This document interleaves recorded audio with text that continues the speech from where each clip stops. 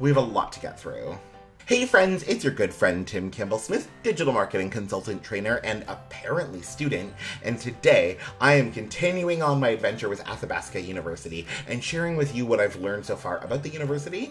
And this video is going to be all about different things you should know about studying at Athabasca University. Please note, this is not a great introductory video. If you are just starting out at Athabasca, maybe you're even thinking of applying to and study starting to study at Athabasca, I'll link somewhere with this uh, video, uh, the introductory video that I've done, so you can go watch it. This is more for people who have just who have started out and to help with continuing on the journey. I've taken a few courses. I'm challenging for credit a class, so that's a cool experience. Um, and now I can start to report back my findings. I'm not going to be continuing with Athabasca, more on that in a little bit, because I'm pursuing a program that's not offered through the university and closer to home. But before I part ways from Athabasca for a little bit, I want to share some things that I've learned about how to really navigate this online university. I'm going to be sharing a lot of advice and general tips and tricks, so for ease of navigation, check below with this video. I've time stamped a lot of it. Make sure you stick around until the end where I'm going to answer the most popular question on social media. What are the easiest courses at Athabasca? And we're going to unpack that question. I want to thank, uh, I have a couple friends who asked to remain anonymous, some upper year students who were able to answer some questions from later on in the degree. I'm still, you know, as much as I know, still starting out, but I got some help from some upper year students to answer some of the questions today. So thanks to them. Important disclaimer, all information was accurate at the time of recording. I've done my due diligence on everything I'm gonna share, making sure to get it, that it's up to date and accurate, but before you accept anything in this video as gospel truth, make sure you double check as well. Before we go too far as well, you'll want to make sure that you like and subscribe for all things digital marketing, uh, consulting, teaching, and training. Okay, so this is where I'm going to refer to my notes, and I'm going to start with general advice. Things I wish I knew, and I had started with early, and I knew early on. Number one, and this is a big catch all for a lot of different things, but please note the degree requirements you start with may not be the degree requirements when you end. Now, that has a couple caveats. One, you may think that there's a certain course you want to take or you have to take, but that may change. When I started with Athabasca, I was doing the Bachelor's of Management program.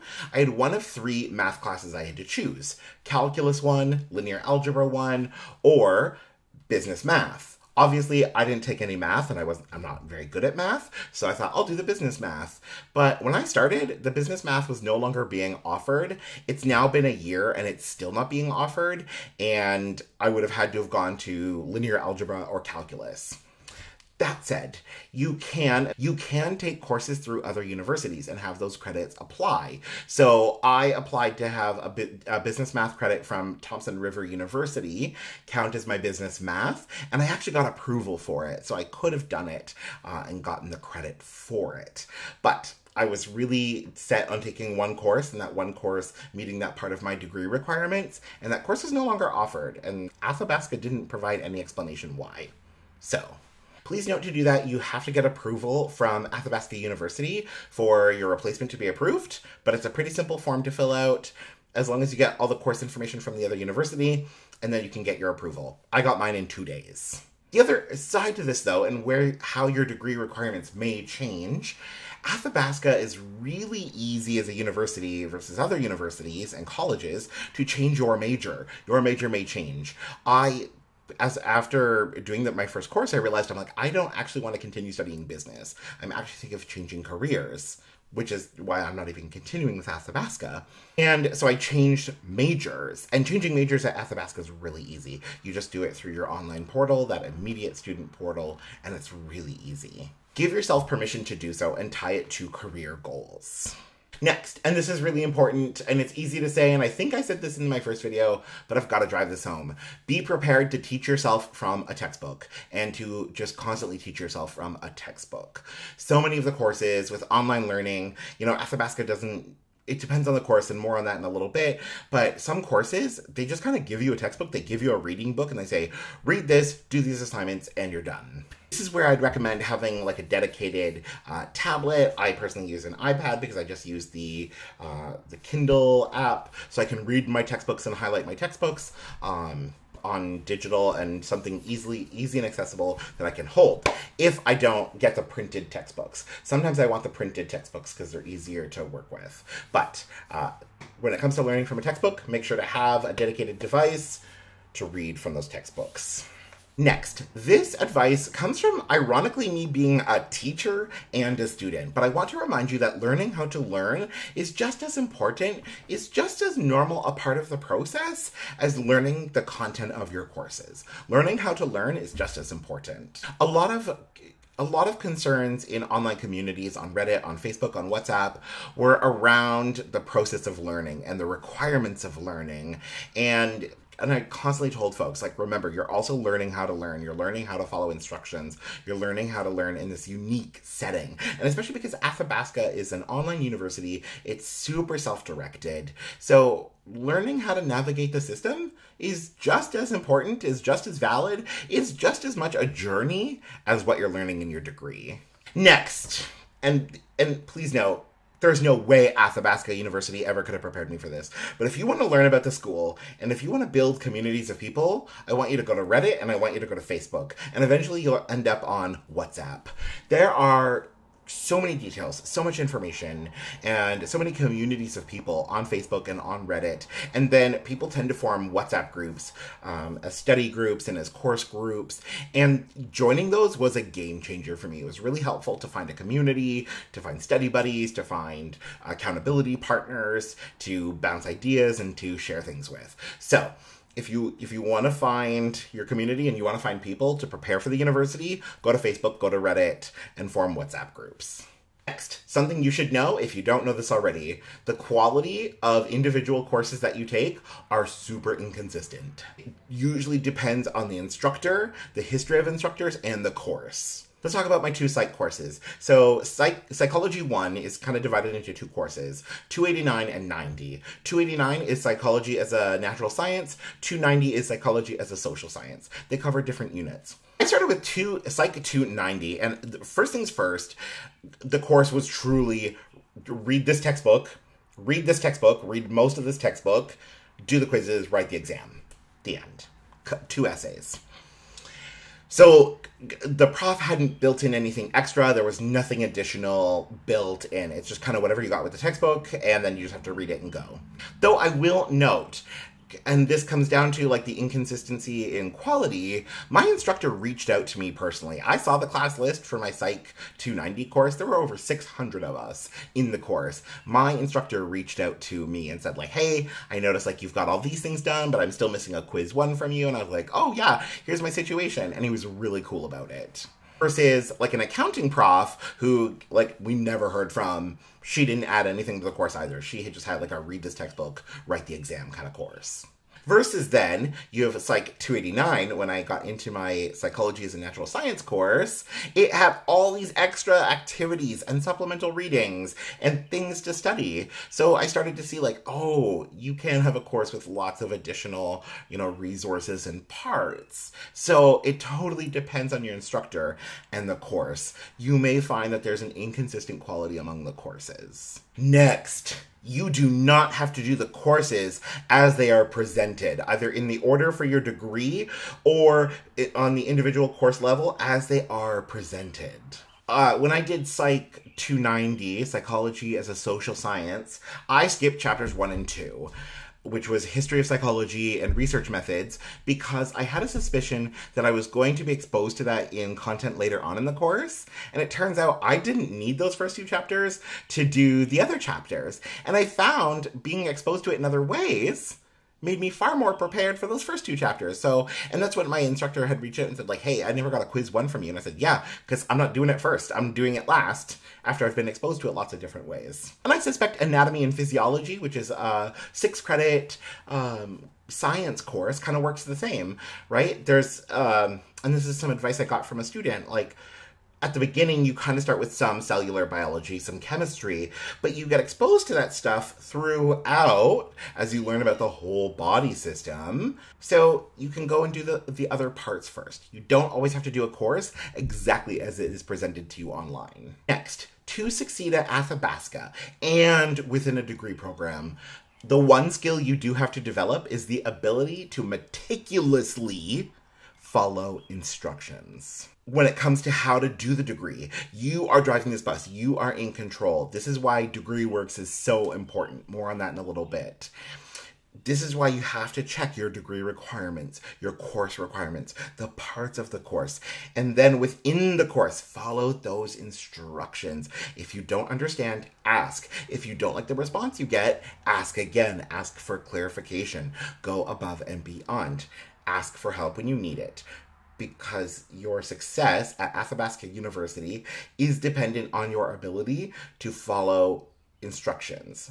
Which is ironic because attention to detail is not my strong suit, but so far I'm doing pretty well. So many complaints I saw on social media, particularly Facebook and Reddit, came down to people not following instructions. Followed those instructions. My first psychology paper, I got a 77 and I lost 10 marks. I would have gotten an 87, but I was 20 words over the word count. And I thought, it's just 20 words. Nope, I got clocked hard for it.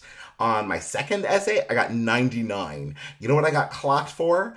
On my title page, I didn't put an ampersand for the uh, in, and instead I wrote and, and I didn't write the word tutor beside my tutor, and I didn't write the word student beside my name. Those tiny, tiny, tiny little formatting details I got clocked for, and it comes down to following instructions. Next, let's talk about exams and exam courses. I don't have official data data on this, but after looking at a lot of courses, and especially for this video, I found rough it's more than 50%, maybe around 60% of courses at Athabasca University have a final exam. You're gonna have to do exams in your university career. But Athabasca does something unique to this university, which is not normal in most other universities, which is many of those courses with a final exam, you must pass the exam to pass the course. And sometimes you have to pass the exam with more than a 50, which is a standard pass. So in Psych 289, for example,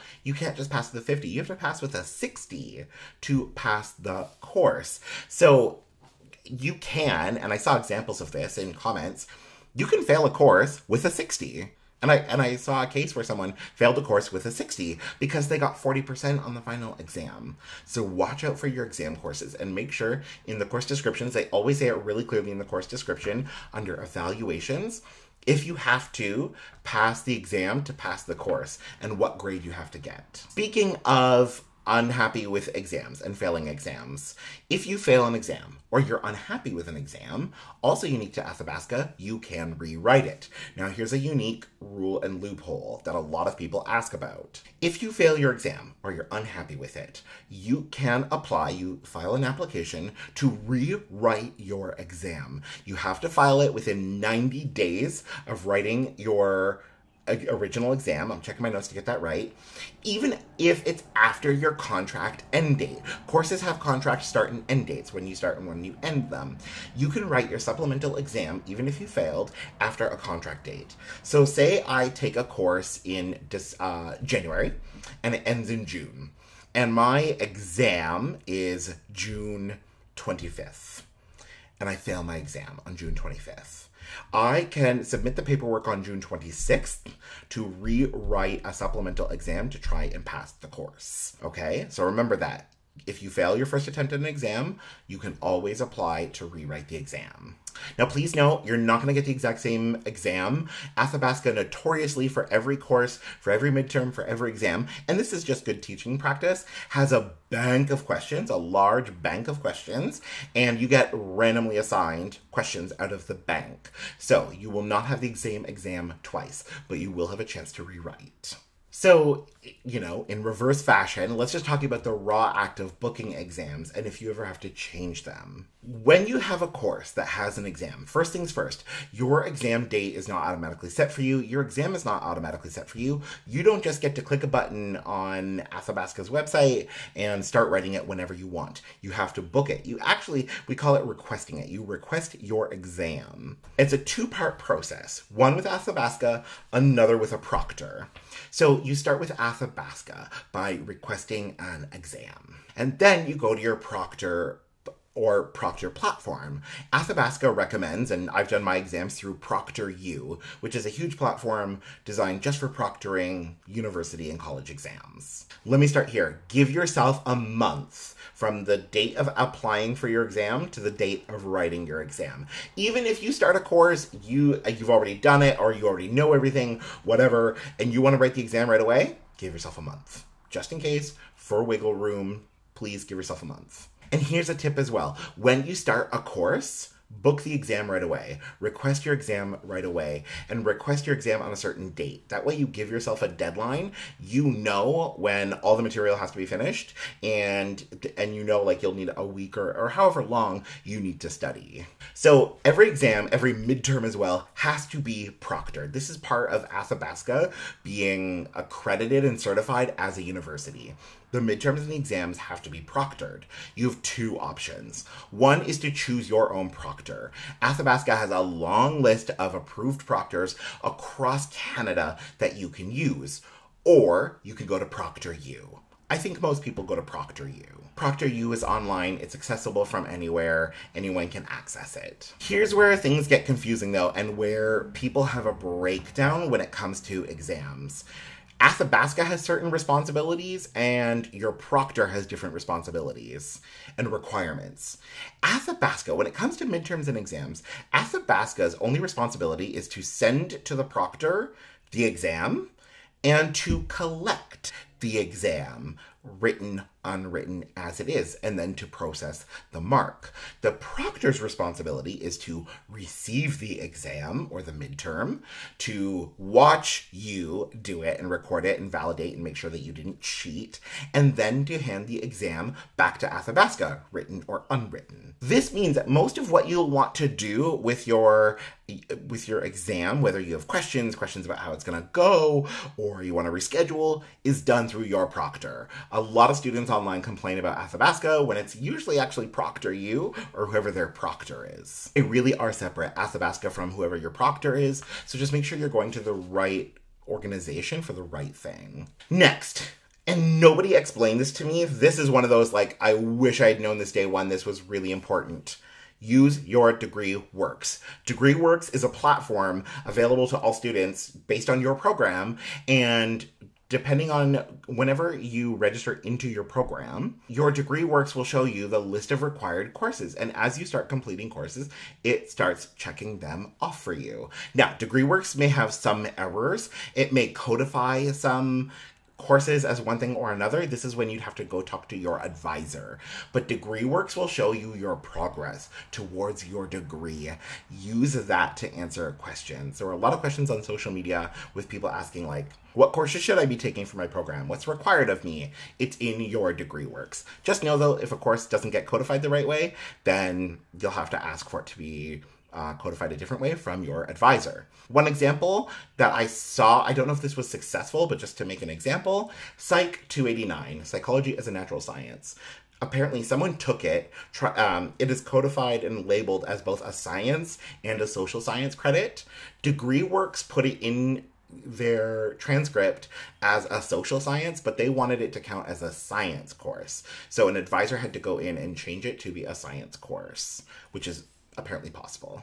Next, let's talk about a situation unique to Athabasca. Some universities have this, not all of them do. Athabasca flaunts it and makes it easily available, and it's called the Challenge for Credit process. If you have enough experience or training or have taken a course somewhere else, maybe you didn't get credit for it though, through Athabasca University, you can challenge it for credit. Basically, what that means is you're saying to the university, I don't think I should have to take this course. I think I've demonstrated the learning outcomes and it should count towards my degree that I already know this. You have to, let's start here. You have to make a damn good case for why you shouldn't have to take a course. I uh, did marketing, um, Marketing One, the Marketing One course, which I think was a 300 level class. And I said, I don't want to take this. I don't think I should have to take it because I have taught Marketing One at the college level and the university level. I know this stuff. I've been a practicing digital marketer for, at the time of recording, seven years. I shouldn't have to take an intro to marketing course. That uh, my advisor said that was a very good case to make. Um, but then you still have to prove somehow, some way that you know what you're talking about. I have to write the final exam for marketing, and I have to get a 60%. I can't pass with a 50. I have to pass with a 60 on the final exam. And if I do, then I get credit for it. This is the challenge for credit process. Now, I'm gonna switch this. So, this has been a lot of like my own advice and things I wish I knew. Let's get to some of the most commonly and popularly asked questions. I'm gonna answer some popular questions, especially little ones that are a little nuanced that you can't always just get from social media.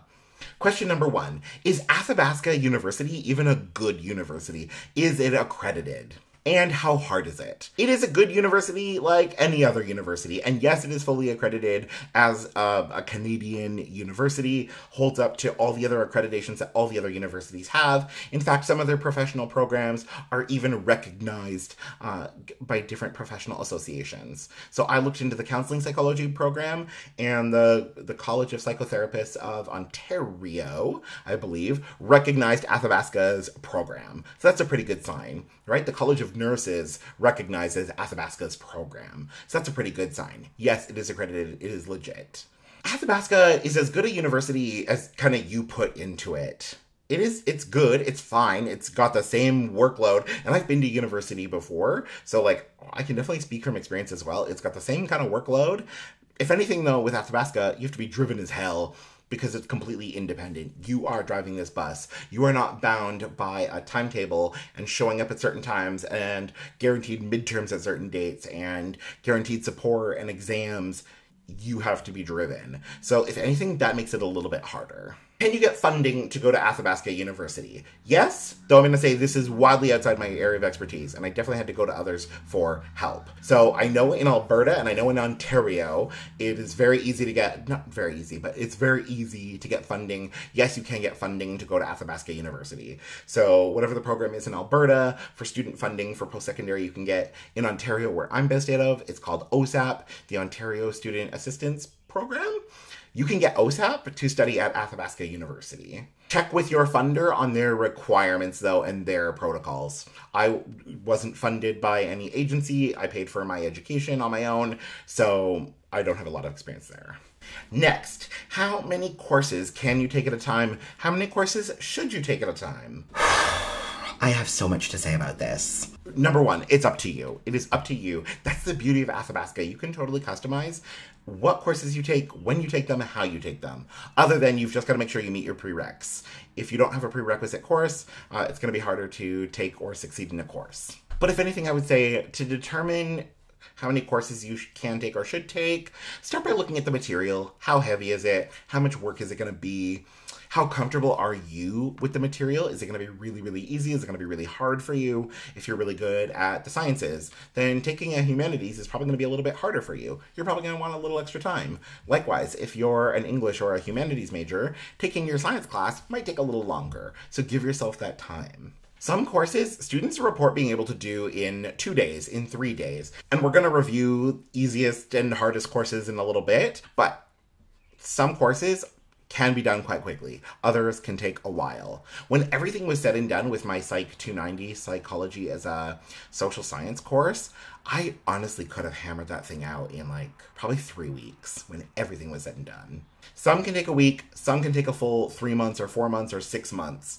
Mix and match and see what you can do. Note though that most full time students on average take four, maybe five classes. And if you were attending an in person university where everything was synchronous and you were moving at the same pace as a lot of other people, you'd be taking five courses at a time. Next, how many times can you extend a course? So, something unique to Athabasca, because everything is self directed, we have contract dates on courses. So, uh, I'm going to double check my notes here. A three credit course you have six months to do, and the six credit course you have 12 months to do. That said, life happens. Sometimes you need an extension. You need it to, you need more time to complete the course. Athabasca lets you do that. You can extend a course up to three times two months each. So you can get a maximum up to an additional six months.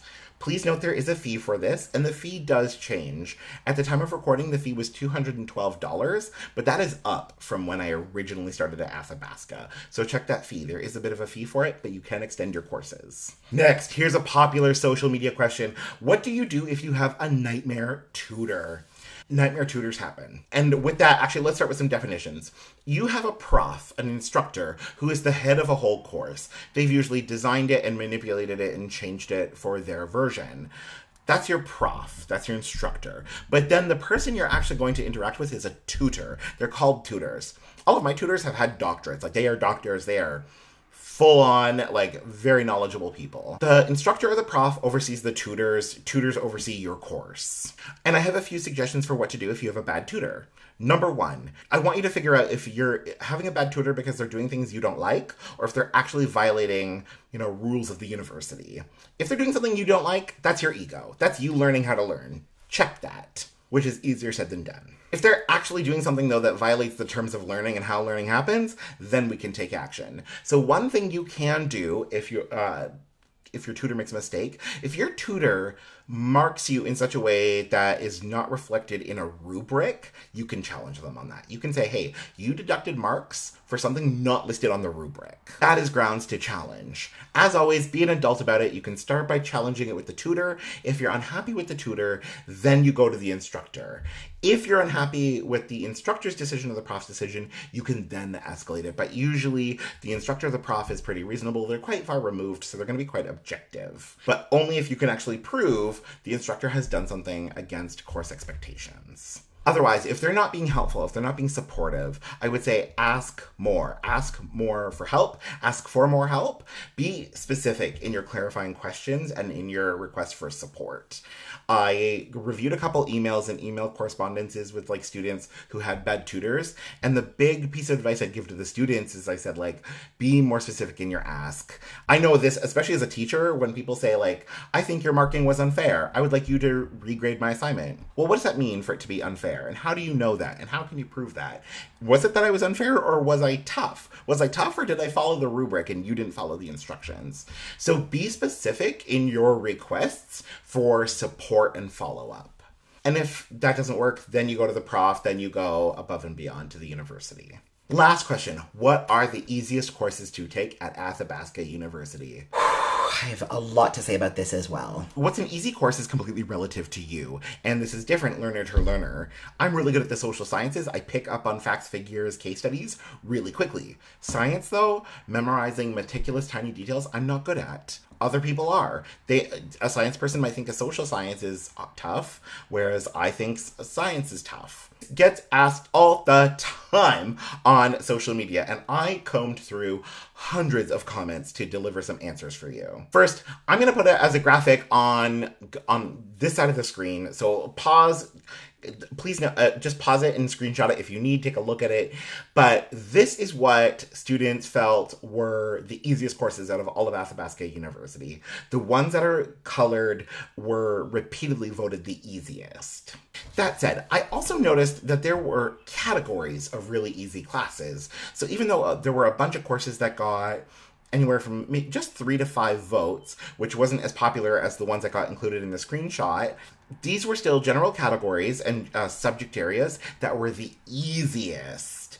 And you'll notice that uh, almost none of the none of these are sciences. But apparently, the general categories the general subject areas that are the easiest courses at Athabasca University they include communications, some computer science courses, usually the lower levels, the 200s and the 300s, women's and gender studies, educational psychology, culture studies, and communication studies.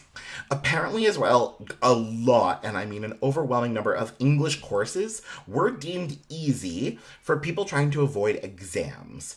But you've got to be okay with reading and writing because the English courses, and apparently at Athabasca, have a notoriously large amount of reading and writing required. But you have to kind of expect that from an online university that's textbook heavy.